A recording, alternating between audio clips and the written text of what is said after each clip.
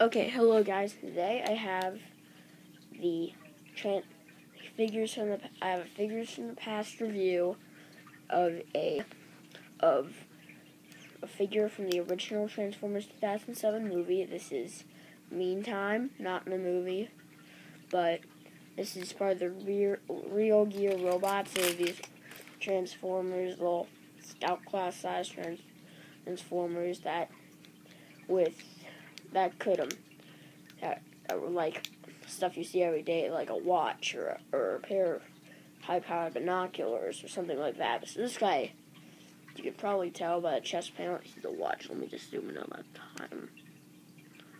Oh wait, this is. Hmm, this is five seventeen. It's pretty. I which isn't the time, but on the package they say not a working watch, which is actually pretty funny.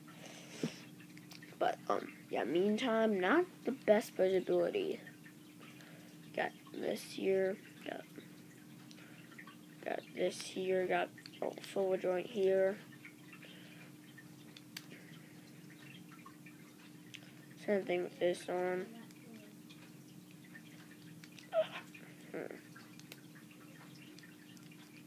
Yeah, so, and then the head turns a little bit.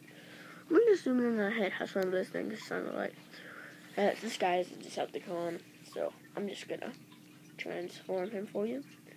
The feet flip in like that, and that, and fold down like that, and that.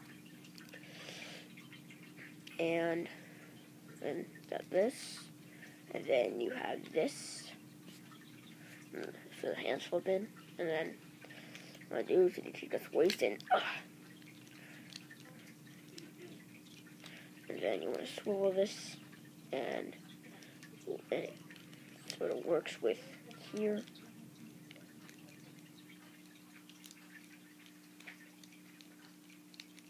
This takes a while.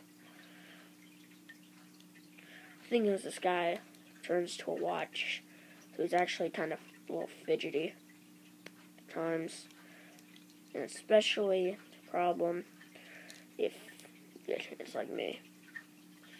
Huge, I know. So anyway, yes, this is watch mode, not the best watch mode. You can wear it, but I'm not gonna wear it because one, I'm, my wrist is too big, it won't fit me, and two, it'll it'll just throw the pole apart and transform it. So yeah, this is the watch mode pretty much.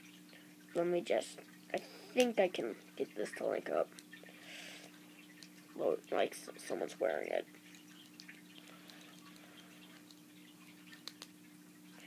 I think I can get it to work. Okay, so this is this is a little better idea the watch mode. So yeah, not the best watch mode I've ever seen.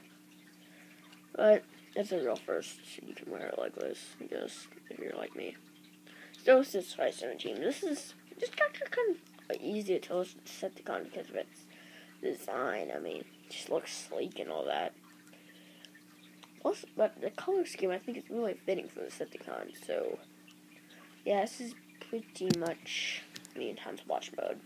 I don't recommend him, but for those of you who want a Decepticon who can turn to a watch and infiltrate the, hu the human's house or anything like that, then this is for you. But like I said, nowadays we're in the era of Transformers Prime and all that stuff so you can't find this guy in stores. So you're gonna so you're probably gonna have to order him off eBay or Amazon or one of those online stores that overprice things. Wait, wait, wait, wait, wait. What?